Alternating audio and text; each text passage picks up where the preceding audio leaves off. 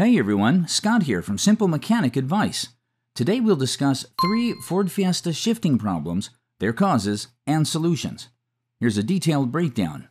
Delayed shifting. Delayed shifting or gear engagements happen when your Ford Fiesta hesitates when shifting gears. You may notice higher engine revs before the gear eventually shifts.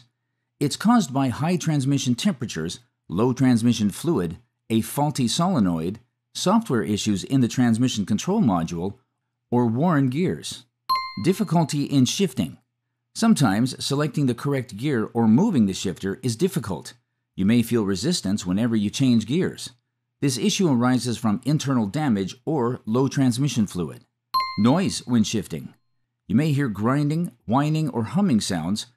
These indicate worn gears and bearings or damaged internals. What causes these issues? Low transmission fluid. Transmission fluid dissipates heat, reduces friction, and provides hydraulic pressure to your vehicle's transmission. Over time, it breaks down and cannot perform these functions. If this happens, your Ford Fiesta experiences shifting problems like the ones mentioned in the previous section. Worn gears. Gears transfer power to the drive shaft. If worn or damaged, they won't transfer power, affecting your car's performance and speed. They may wear out due to age, overheating, or poor performance. A faulty transmission control module. The TCM regulates your Fiesta's transmission processes. If damaged, your Fiesta may experience slipped gears, delayed shifting, and overheating. How do you address these issues? The transmission is a complex component. Its repair often requires specialized tools and technical knowledge. Therefore, we recommend taking your car to a mechanic when you notice shifting problems. If your Ford Fiesta has a traditional transmission, you can perform repairs like a transmission fluid change. Here's how. Review your owner's manual to determine the recommended transmission fluid. Park your car on a flat surface and raise it on jack stands. Slide under the Fiesta and locate the transmission pan. Place a drip pan under the transmission pan, then loosen some mounting bolts. Tilt the transmission pan toward the drip pan to collect the old fluid.